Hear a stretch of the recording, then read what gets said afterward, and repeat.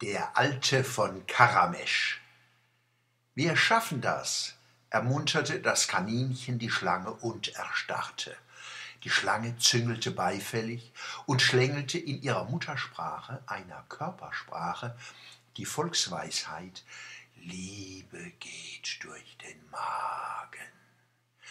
Dann standen Kaninchen und Schlange einander bei, bis der animalische Imperativ erfüllt war.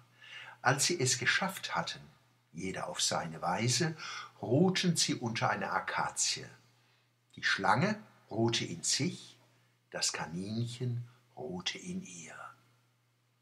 Die Zuhörer auf dem alten Markt von Karamesch hingen dem weisen Erzähler an den Lippen.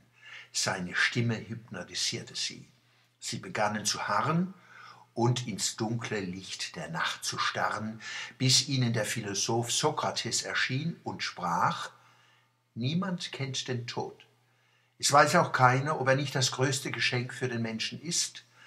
Dennoch wird er gefürchtet, als wäre es gewiss, dass er das schlimmste aller Übel sei.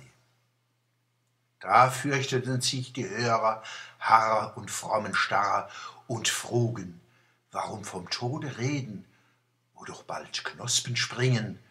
Da entgegnete der Alte, wer antworten will, muss Fragen säen.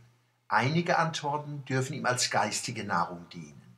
Die besten aber muss er wieder als Frage in die Erde legen und in den Himmel säen mit leichter Hand und breitem Wurf, damit Antworten reifen, die er ernten und wieder als Fragen säen kann.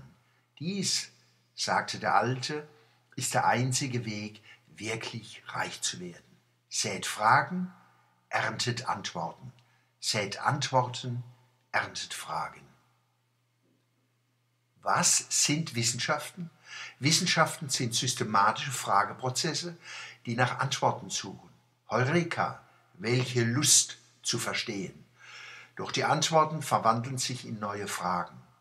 Die endlose Folge von Fragen, die Antworten finden, die sich in neue Fragen verwandeln, die nach neuen Antworten suchen, hat Welten an Wissen geschaffen, in denen und von denen wir leben.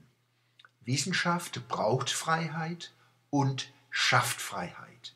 Kein Humanum und keine moderne Zivilisation ohne rationales Erforschen, Erkennen und Begründen akzeptieren und verwerfen. Kulturen, die Aufklärung und Wissenschaft verhindern, sind eine große Gefahr für die Welt. Ihnen müssen wir mutig und selbstbewusst entgegentreten. Und der Glaube? Er steht den Künsten näher als den Wissenschaften. Seine Ideen und Weisheiten beruhen in besonderer Weise auf Ängsten, Hoffnungen, Projektion und Konstruktion. Auch hier gilt, Glauben heißt Fragen.